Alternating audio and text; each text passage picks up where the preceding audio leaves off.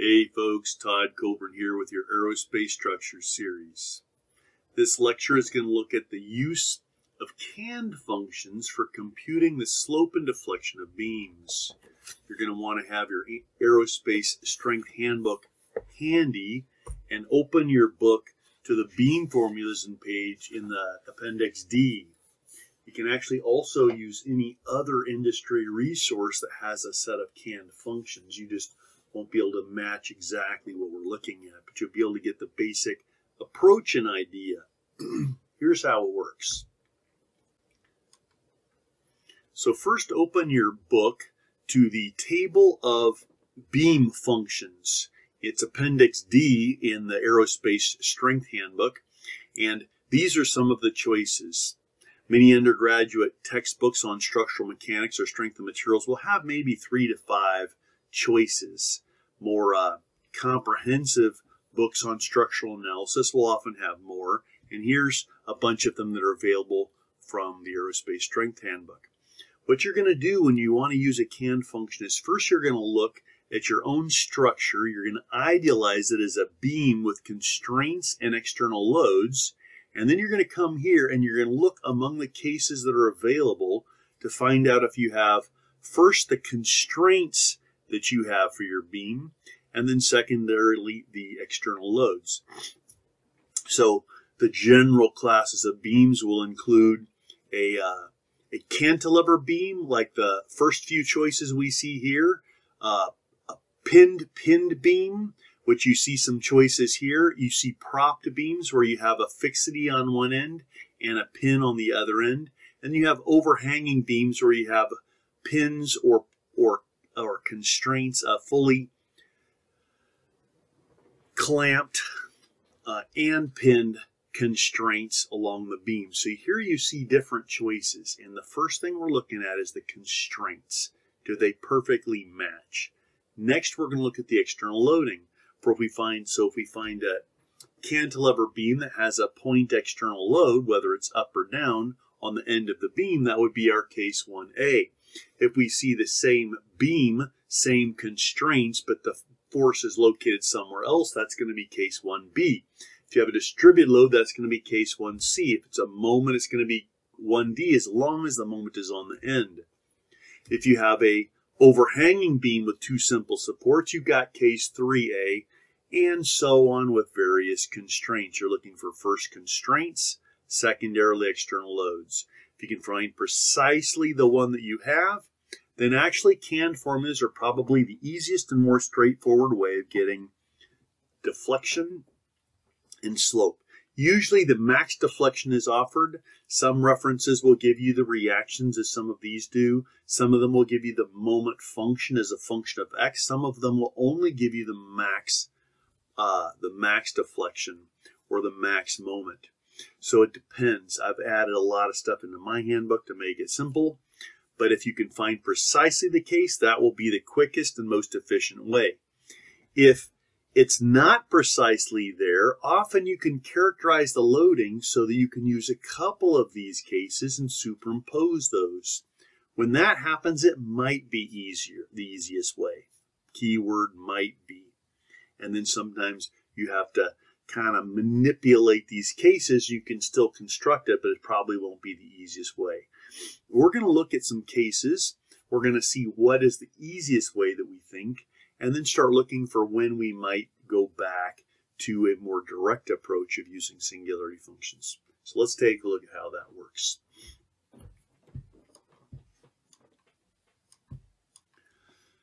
So let's take a look at this case. If we look at this particular case, we look, we've got a pinned, pinned beam with a loading located somewhere along the beam. We find out that case 2A is precisely that.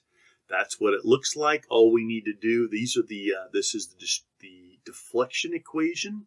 Now remember, when we have a point load, we're going to have, if we use continuous calculus, we're going to have another, uh, one function for every little span of the beam where something changes. In this case, we've got uh, moving from left to right, we have that, that reaction at A. So that's going to define one function for the span from A to B. that point load at point B means you're going to have a new function to represent the next piece, both for moment and for deflection. Hence, we have two different functions here. For the deflection, we use the first relation if we're between A and B. We use the second relation if we're between B and C. Remember, it's critical to use the right relation. Now, this is actually going to be maybe probably easiest if we have this kind of beam to just use the canned equation rather than doing using continuous calculus or using singularity functions. However, some of us look at this with, oh, now I've got to deal with two equations for this beam. If I do much deflection analysis, I've got to select the right one and plug in values. It might be easiest just to write the singularity function, which would give us a single function for the deflection from end to end. However, if we're just looking for the max deflection or something like that, it's probably quicker just to grab this and plug and chug. So once we find this case, we would insert our external load, being careful to identify whether we're positive or negative relative to the direction that's shown in the case, what our A and B parameters are, and so on. If we have this particular case, we look at our beam and we find that that is not in our handbook, at least not in the aerospace strength handbook, Therefore, writing the singularity function is probably the easiest way. This one here, we can see that this exists. That's case 2e. So we just plug in, we have two functions once again. We can just plug in values and use that. If we have this case, we find this is just case 2e as well. Except now, instead of placing that moment at 5 inches, we now place it at 20 inches and our B dimension now is zero, but the same case still applies. So some folks might not recognize that. With a little bit of experience, you'll start noticing that some of these parameters can be manipulated along the beam and some can't. If we see this case here, we say, well, there's no direct case, but we do have two cases that apply to pieces. We can use case 2a with these inputs and use case 2E with these inputs, and then you just superimpose those two results to get the total deflection. Here's another example. This example is actually out of uh, Beer and Johnston, this particular beam picture. And if we wanted this, we could do the same thing. We see once again, we're just case 2, uh, 1a, which we show here.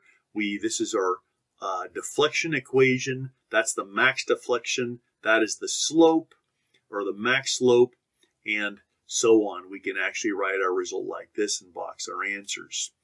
Now you'll notice there's no theta here. So in this particular case, if we want the slope of the beam, all we need to go do is go back to our y of x function, integrate it once, excuse me, differentiate it once, and that will give us the relation for the slope. And we can do it this way. That's that differentiation and then some simplification occurring. If we have another case, this picture is also from Beer and Johnston's text. If we have a cantilever beam with an end load, once again, we see that's just case 1D. It looks like this in our handbook. That is the deflection equation. And we can go through and now just uh, grab the other max, the theta, whatever is given. And anytime they're not given, we can differentiate for it. If we have this beam here, You'll notice this also is covered, but it's not directly covered in the handbook. It's just this case reversed. It looks like this in the handbook, and it looks like uh, the other in our, our actual problem. Now, you'll notice the case in our handbook is defining x. It's going to give us all the values, but it's defining x moving from left to right, from A to B. Our other beam actually is identical, but only if it's reversed. Therefore, for this these equations to be working, we have to define x from right to left rather than left to right. Unfortunately, if you're looking for precise answers, that can screw people up because the sign tweaks. The easiest way to do this is probably to use that x defined from right to left now, and then define a new variable, and, and, and this is what that is for as a function of x, then what we do is we define a new variable. So we want to define a new variable moving from left to right. We'll call that x prime. We can then write x as a function of x prime. x is just L minus x prime. We can insert that into the original equations, and then we have an equation for our reversed beam. This is probably the easiest way to solve it. Now, the easiest way to get the theta here is probably going to go back. Some, uh, many of us will get screwed up if we try to integrate that or differentiate that with that x prime. So what you can do is go back to the y of x, differentiate that to get the theta, and then insert your, your substitution of x equals L minus x prime to get the equation for that theta. Got that? And it would look like this. See how that works? Now, if you get proficient at this, you can still do this quicker than you can use even singularity functions. But if you start getting wrapped around the axle doing any of these uh, manipulations, all you need to do is go back to what we learned about singularity functions. This particular beam only needs a single singularity function, which it's really into easy to integrate our four times to get our, our deflection from our loading function and uh, and the substitutions for our constants of integration are quite simple too for this particular beam.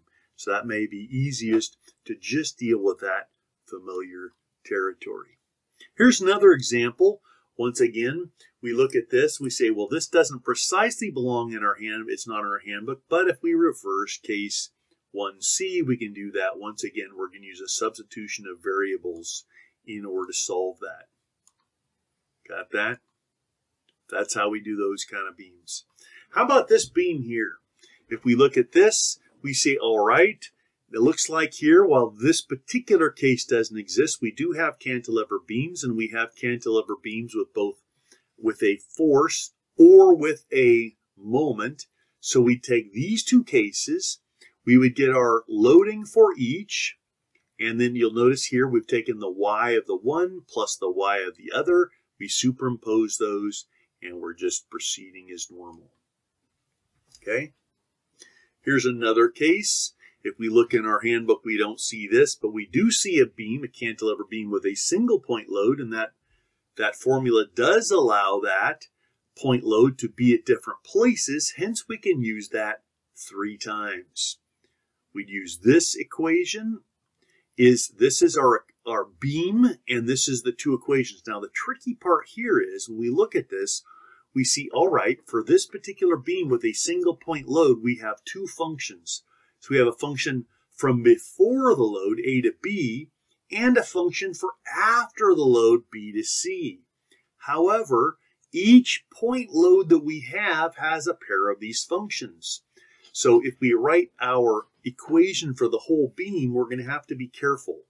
For example, first we're going to write this beam when A is equal to A, and we're going to do that for our PB is our force, P and we're going to have two functions, one for the left for A to B and one for B to D. Then we write that same equation for PC, and now our A dimension that we plug into these formulas is A plus B. So now that first function will be valid all the way from A to C, and the second function will be valid from C to D where A, though, in both of these relations is going to be A plus B. The third time we use it uh, will be for PD, and in that case, we're going to use that Y of A to B for the entire beam. Our force value will be PD, and our A value will be A plus B plus C. So this is how it looks. You'll notice here we have the first term. This is for A to B all three of these loads introduce a term. Uh, however, for the first load, PB, our A value is just A. For PC, our A value is A plus B. And for PD, our A value is A plus B plus C. All of these three functions, this is in the before the force hits uh, little piece. Now for the next piece, B to C, we're going to have to switch. Our first relation for PB is going to take the second term, the after the loading term. You'll notice we're seeing the using the B to C portion of our original function for that one. But the other two loads are still be uh, the second load, the second third load are both before, so they're both using the A to B part of that Y equation. Now from C to D, two of our loads, both PB and PC, use the second function, and our PD still uses the first function. Now this is actually quite simple, and something that every engineer should be able to do. However, this is probably more straightforward to just write the singularity function because we have a force value at the left end, we have a moment value at the left end, we have three, uh, two other forces we need to write the singularity function term for, and because of the fixity at the left end, that imposes both a deflection and a moment constraint. Both of our constants of integration are going to end up being zero, which is going to make that quite simple. If we have this little beam here, we look at our handbook and we find out that this is not in there, uh, and so we can just use uh, singularity functions, no problem. If we look at this one here, we also see, well, actually, this doesn't look like it's in our handbook, hence singularity functions will be the easiest way.